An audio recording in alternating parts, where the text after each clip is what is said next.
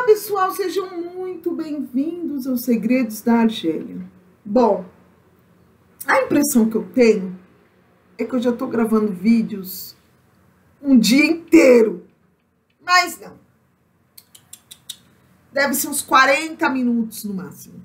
Gente, vamos falar de uma coisa? Eu fui procurada há poucos dias no Instagram por uma mulher casada levando um relacionamento virtual com um rapaz da Argélia ela escreveu um textão enorme. E no final do texto, ela me pediu, pelo amor de Deus, que não a julgasse. E, e é óbvio, né, que ela não me conhece. Então, a partir do momento que uma mulher que nunca me viu vai me fazer. Vai lá me chamar no privado e conversar muito sobre coisas muito particulares a primeira coisa que me passa é que aquela mulher está realmente com muito problema, muito cansada, muito exausta.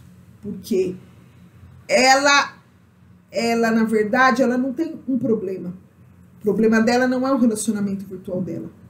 O relacionamento virtual dela é consequência do problema dela. Por que é que eu estou falando isso justo hoje? Gente, uma pessoa casada que está relacionando-se no virtual, seja com um rapaz argélio de qualquer outro lugar, na verdade, esse não é o problema dela. O problema dela gerou essa consequência. Qual é o problema dela? Pode ser muitos problemas.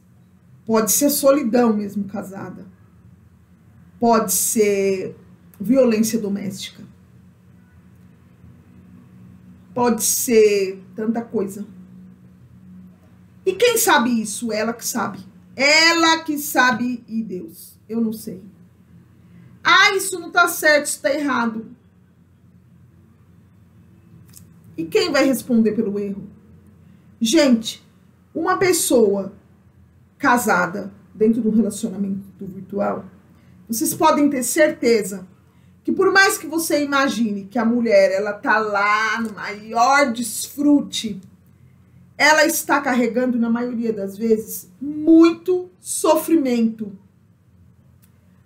Porque existe uma dualidade na situação e ela não gosta de participar dessa situação.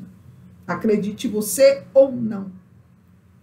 Então, eu gostaria de dizer que acima de tudo, Muitas mulheres têm dúvidas e não querem permanecer nessa situação. E eu digo a vocês o que eu disse para ela.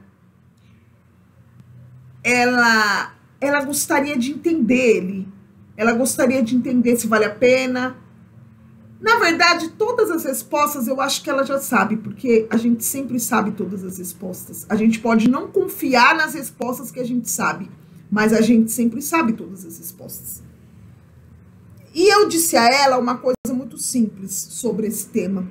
Eu disse a ela que aprender a ler o outro é, se ele mente pra gente, se ele fala a verdade, é uma construção cotidiana, sem atalhos. A única coisa que eu faço no vídeo, gente, é descortinar traços culturais. Mas conhecer o camarada é dia a dia. Não existe atalho. E só você pode fazer isso. Por você. Não existe nenhuma pessoa no mundo que faça um vídeo que vai fazer isso por você. Se tiver muito pesado puxar essa carroça, procure um psicólogo o mais breve possível. Porque o tratamento psicológico, ele é como qualquer um outro tratamento, tratamento médico. Quanto mais rápido você diagnosticar o problema, mais rápido você consegue resolver. Mais rápido.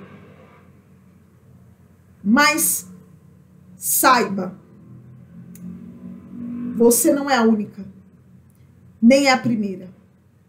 Mas você tem que conhecer a si próprio a ponto de saber que antes desse relacionamento por mais que esse relacionamento seja um problema para você, você já tinha um problema. Você quer resolver seu relacionamento virtual? Vá resolver o problema que você já tinha, seja ele qual for. Qual for. Quando você resolver, esse nó aqui já vai se desatar um pouco. Ai, tá difícil. Procura um psicólogo. Psicólogo não é doutor para não é médico de gente doido, gente. Psicólogo ele é uma pessoa que te ajuda, que estudou a mente humana e ele te ajuda, te orienta no sentido de ajudar você a dividir e organizar aquele fardo da melhor maneira para você carregar ou deletar ou excluir, enfim. Isso depende mais de você do que dele.